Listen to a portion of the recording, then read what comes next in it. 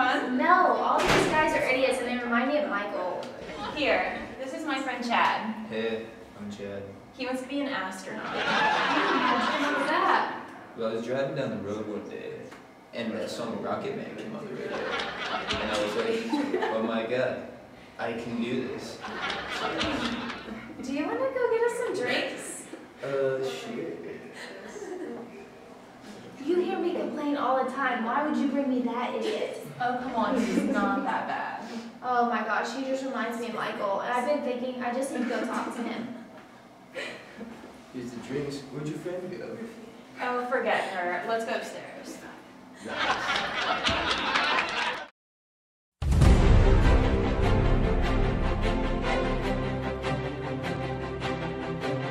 And we're back from Point Place, Wisconsin. I'm Allison. And I'm Grayson. Sorry to interrupt. We have breaking We have had sightings of UFOs in the area, and we have had reports of a woman being lifted up and put back down on the ground. If you are to see anything suspicious, such as an alien, they might look like a tallish figure who may be green or gray, with big eyes and a very big head.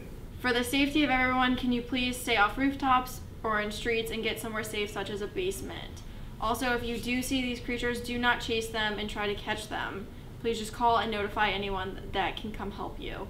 Also, during this time of this craziness, it might be important for you to spend more time with your family and friends. Maybe take advantage of this opportunity to really focus on one another and create a stronger relationship and find out things about each other because you might not have the chance again. You might find out more about these important people. I know me and Allison will. I know aliens are not as common as wars are, but they should both be taken seriously. All right, we'll let you get back to your show, but please make sure you're watching this show in the basement or somewhere that is not near windows where you can be taken. your mind when I was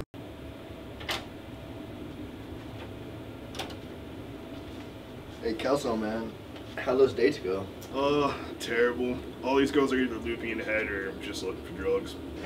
Put a dating out in the newspaper, man. You gotta weed through the crazies to find some real talent. Well, isn't that what your Uncle Chet did? Yeah. Tell her you met this one crazy chick. Try to sacrifice him to her squirrel god. My country worships the squirrel god too. They love a good sacrifice. Well, as great as that might sound, uh, I think I'm gonna stop trying to bang a bunch of chicks. Jackie's the only girl for me. Jackie! Michael, I'm so happy I found you. I'm so glad you're here. I just wanted to say that after a bunch of weird dates, that you're the only girl for me.